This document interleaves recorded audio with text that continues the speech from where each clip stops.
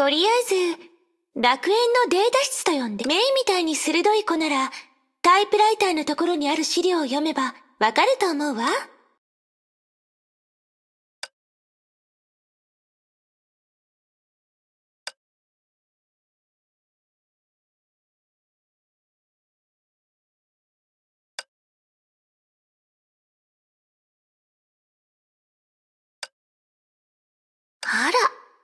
声にしない方がいいわよ。ケビンはその秘密をあまり見せたくないみたいだから。第三者に知らせるのはおすすめしないわ。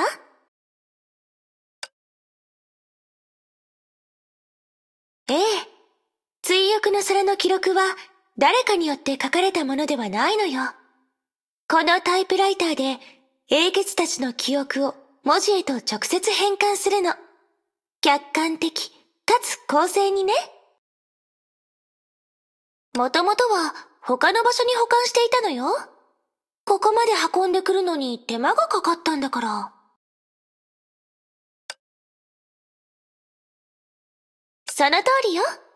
そうでないと、客観的かつ公正何せ、ここからの話は少し長くなるから。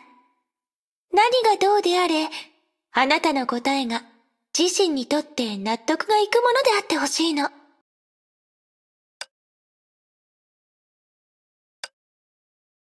ああ、それはもう一人の友達に頼まないと。さて、あなたの出番よ。じゃじゃーんデータ室の管理者の妖精さんよ。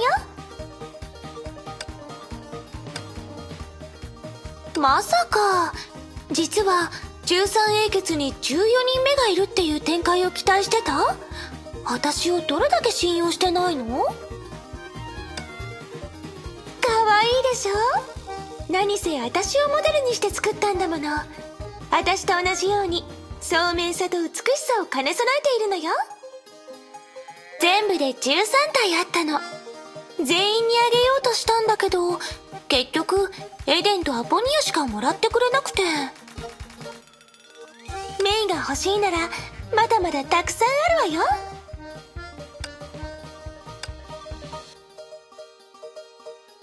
それは、メイがまだウェイクワードを言っていないからよ。今はまだスリープモードなの。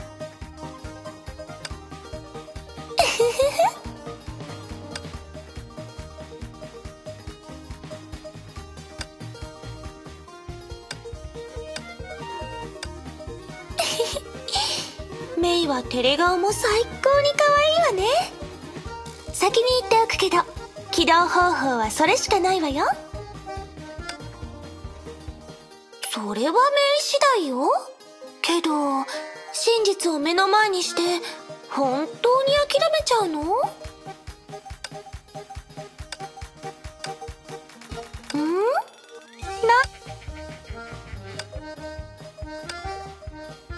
あら、どうしてかしら？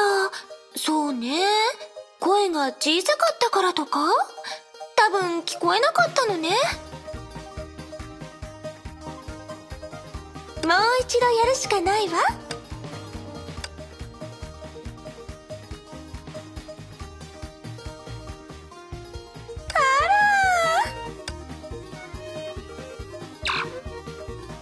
プログラム起動中。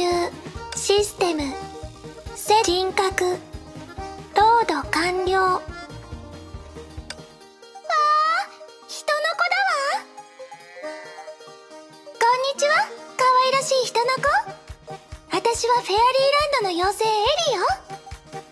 大切なあなたと出会うためにやってきたの。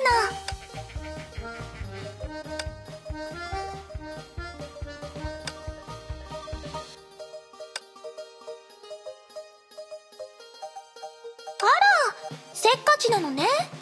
まだ挨拶もまともにしていないのにもうか弱い妖精をこき使うつもりなの？しょうがないわね。何せ私は優しい妖精だもの。じゃあこの楽園データベースインフォメーションコレクトコントローラーインタラクティブ出力。えー、っと。じゃあこの不思議なタイプライターについて紹介しちゃうわね。このタイプライターは楽園のあらゆる情報を抽出できるの。だからデータを指定しないと最近起きた大きな出来事自動的に印刷するのよ。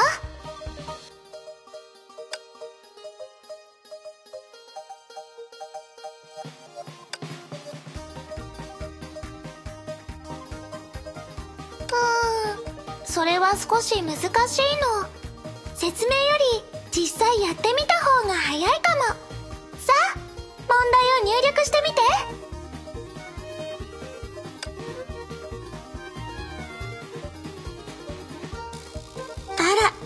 随分と担当着入ね。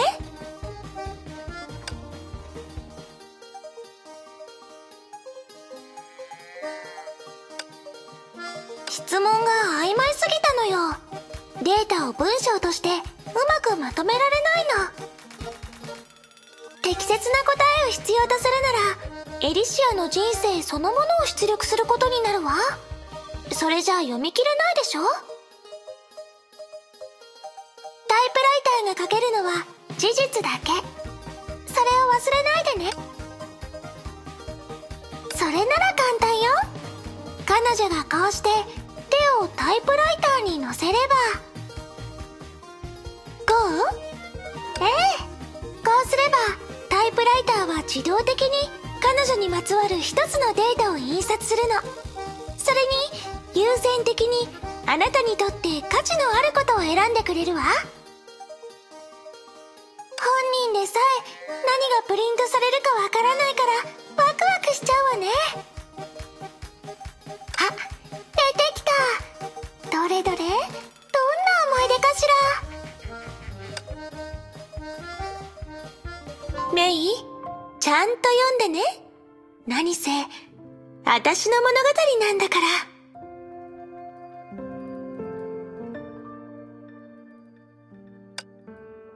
おはよう。新しい一日は美しい出会いから始まるのよ。まずは体重を測りましょう。う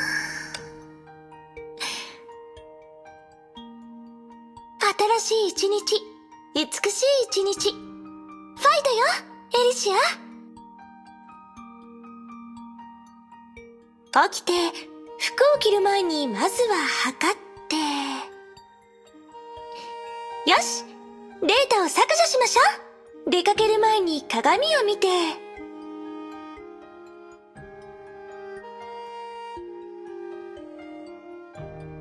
身だしなみ OK 前髪 OK 笑顔 OK ええ今日も素敵な一日になりそうね。Good morning エリー、今日も早いね。はようエイシャ今日も綺麗ね。新妻はやっぱり一味違うわね。おはよう、エリシア。後で訓練場で会おう。さっきモデルみたいな男の人を見かけたと思ったらあなただったのね。おはよおはよう、エリシア。うおはよう。会えて嬉しいわ。うーんさっきのは誰だったかしら？まあ先に挨拶しておきましょう。よし。今日はもう少し上の難易度に挑戦しましょ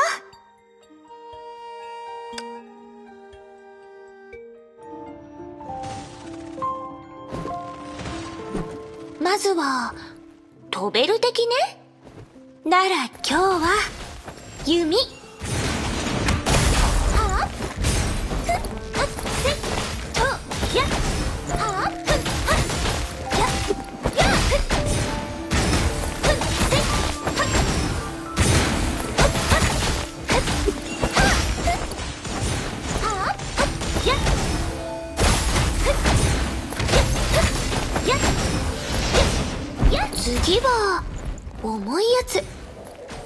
しいわね。少し前にチョークで見かけたことがあるわ。でもあいつらってば20メートルもあったのよね。等身大で復元したらどこに置けばいいのかしら。あら今度は見たことのないお友達ね。メビウス博士がまた新しく発見したものを勝手にアップロードしたの？や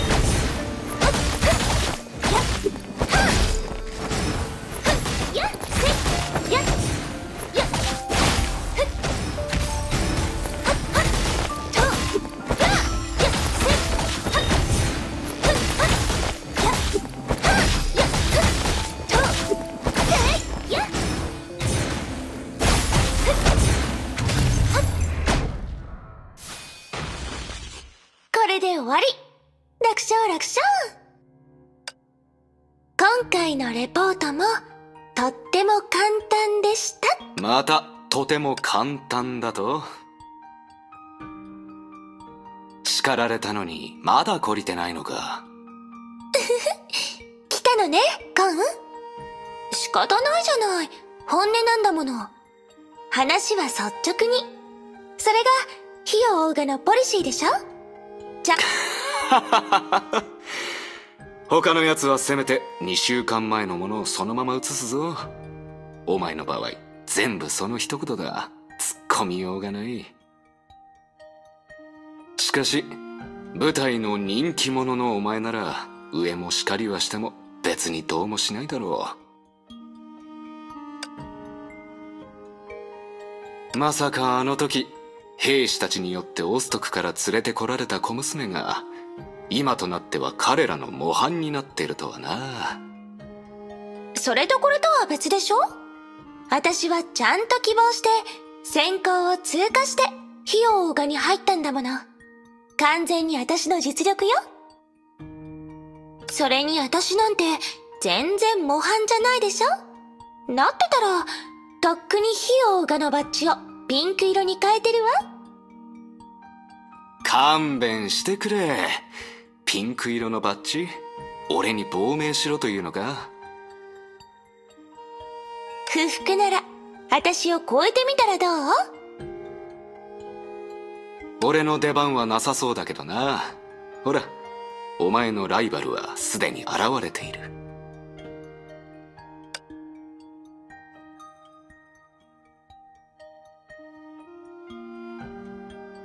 1位は見たことのない名前ね。新入りなの？俺も会ったことはないな。そういえば最近変わったやつが入ってきたんだ。加入した理由は彼女さん？面白いだろう。ひょっとしたらそいつかもしれないな。なんてロマンチック。彼とその彼女さんと会ってみたくなったわ今晩は組織の伝統の夜だろ新入りなら欠席しないはずさ。そんなに興味があるならパーティーで探してみたらどうだ？うんそれならちゃんと準備しないといけないわね。ダンスパーティー。コーディネートは十数通りも考えたけどやっぱり試着しないと決められないわ。どれにしようかしら？華麗なものだとこのトレーンスカートとか？優雅なものだと背中を見せるこのドレスはちょっと大胆すぎるわね。あら誰もう時間なの？エリシア！あらメビウス博士だったのねまた目の下にクマがあるわよ。二日前よりもひどくなってるみたい。ちゃんと休まないとダメよ。二度と変な服を私のクローゼットに入れないでちょうだい。もうメビウス博士ったら相変わらずテレ屋さんね。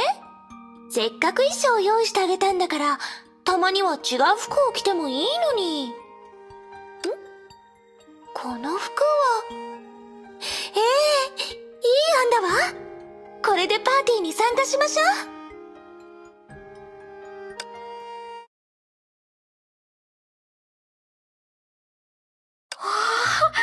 ここの食事はすごいね。訓練学校よりずっと美味しそう。見てシャンパンもある。何を考えてるの？未成年者もいるのにお酒を置くわけないでしょ？炭酸水よ。ええー、つまらない。あのドリンクはいかがでしょう？ありがとう。つまらないって言ったのはどこのドイツよ？お礼はいらないわたくさん食べたから喉が渇いたでしょ？はい。ちゃんと受け取って。パーティーを楽しんでね。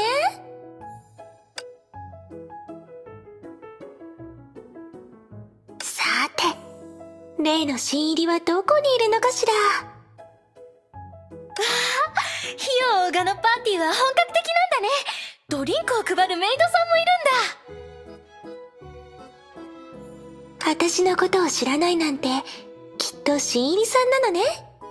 でも私が探してる相手はあの名前だもの男の子よね。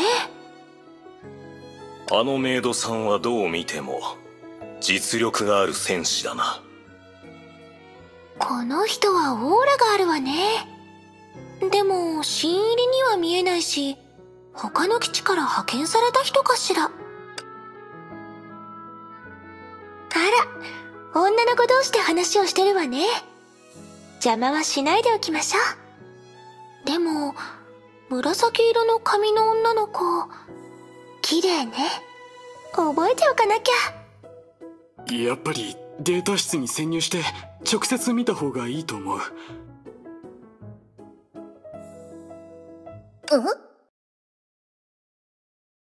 もういいよ。成り行きに任せることにする外の状況はどんどんひどくなってる。もう3回目だ。このままだといずれごまかせなくなる。そんなことを心配して。意味はあるのか？お前が心配する番でもないだろう。ほら彼らのようにすればいいじゃないか。問題を忘れてさ祝えばいいんだよ。何もなかったように。疲れた。そもそも来たくなかった。戻ったらまた仕事とか。一体何なんだ？あれしかないだろ。う第一研究所の所長が言ってたんだ。4回目も。そう遠くないってな危ない！ごめんなさい。ぼんやりしててぶつけちゃったわね。いや違う。僕のせいだ。こんな場所に突っ立っていてごめん。邪魔だったね。ドリンク服についてない？大丈夫。ほら。僕がグラスをキャッチしたから。炭酸水ありがとうちょうど喉が渇いてたところだったんだ。あら反応が早いわね。普通の兵士には見えないわ。優れた選手をたくさん見てきたけど彼らと比べてもあなたの身体能力は超一流よ。もしかしてプロのスポーツ選手とか？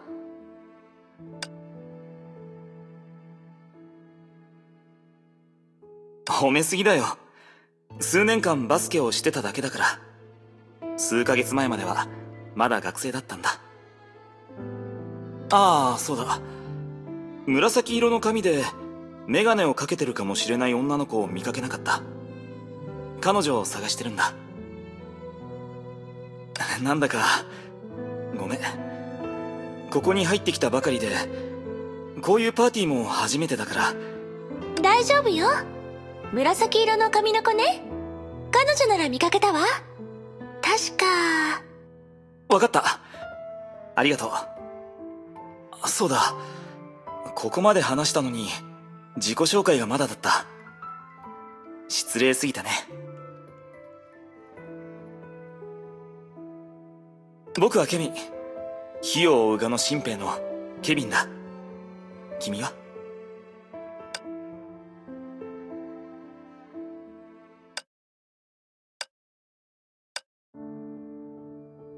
よ。懐かしいわね。ケビンは結構変わったのよね。だって知り合ったばかりの頃はまだ女の子を喜ばせる方法を知ってたもの。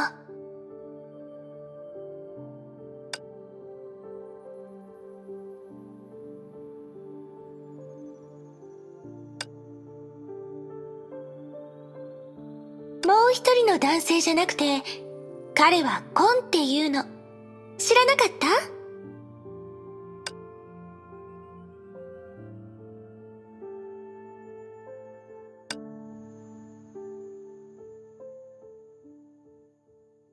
まあ、それは私自身もよく覚えてない過去のことよ。あの頃はまだ小さな女の子だったから。オストク51。そんな名前だったかしら。私が生まれた場所だったみたいだけど、あまり実感がないの。故郷が嫌いとか、そんなんじゃないのよ。本当に小さかった頃の話だから、唯一覚えてるのは、火を追うガが私を連れ去ったことくらいなのよね。もちろん、私だけじゃないのよ。火を追うガは多くの村人を連れ去って何かを調べようとしてた。けど、何も発見できなかったから、結局みんなを戻したの。その件は記録すら残ってなかった。メビウスの話によると、最終的に勘違いで終わったそうよ。がっかりよね。自分の出身地には私も知らない秘密があるかもしれないって期待してたのに。その後は普通よ。私は徐々に成長して美しい少女になった。費用がと再び開口し、運命の歯車が回り始めたの。その後の話は、メイも知ってるでしょ？安心できないというのなら、確認してもいいわよ。大丈夫だから。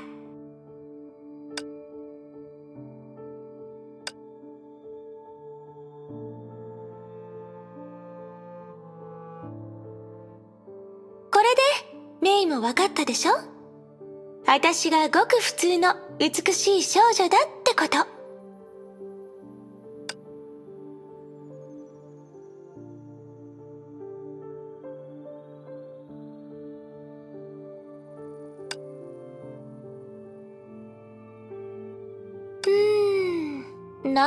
なんと言うべきかしら。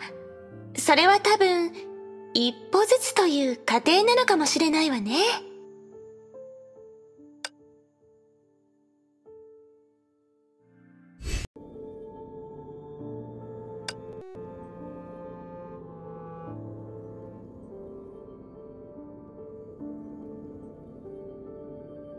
君がそんな表情を見せるとスー常しえの楽園ここの景色を見ると昔のことを思い出してしまう。ここに来る途中エデンのポスターを目にしたよ。あの頃僕たちは彼女のコンサートを一緒に見たんだよね。ああ。随分と前のことだ。そう。本当に昔の話だね。何を考えているんだい？ケビン。あるいは何かを思い出したのかい？昔のことだ。彼女に関する昔のことだね。あ。誰もがみんなこれほど純粋な心の世界を持っているわけではないよ。だが彼女君がそんなにストレートに彼女を褒めるとは珍しいねいつも君はエリシアが奇想天外なアイデアを口にするとき反対する者という役割を担っていただから彼女はよく僕のところに来ていたよ。僕を通して君の本当の考えを知りたくてね。彼女は適当に話題を作っただけだろう。いつもそうだ。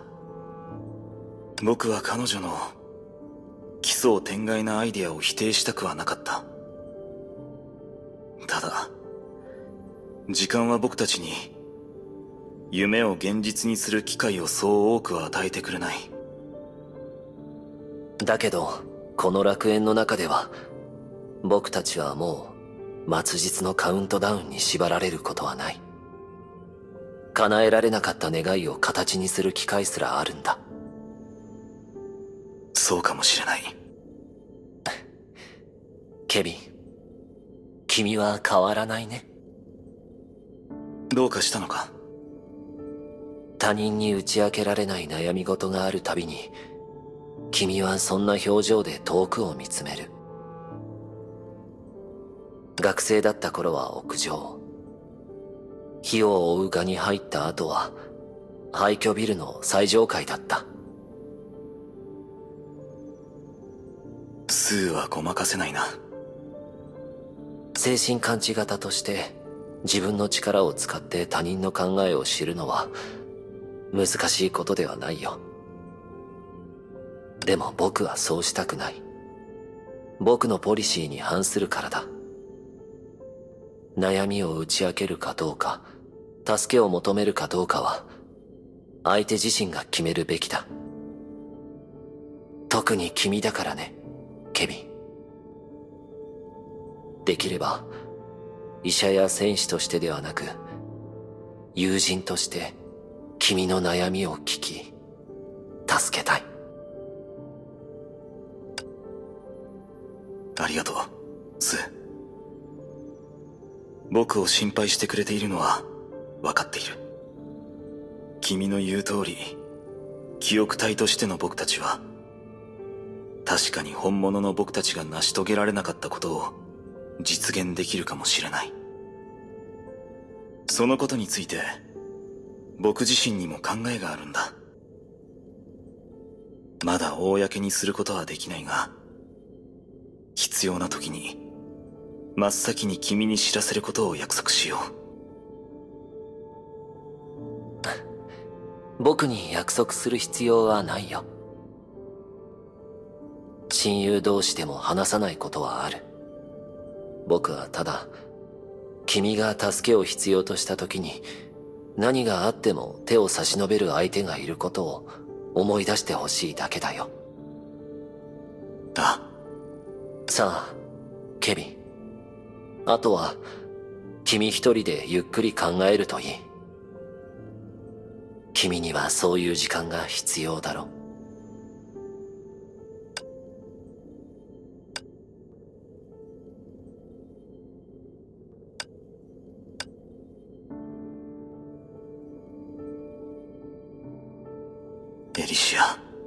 あの時の君、そしてあの時の僕たちには、本当に他の選択肢はなかったのかもし僕が、もう少し早く君の本当の目的を見抜いていたら、僕たちは、違う結末にたどり着けていたのだろうか。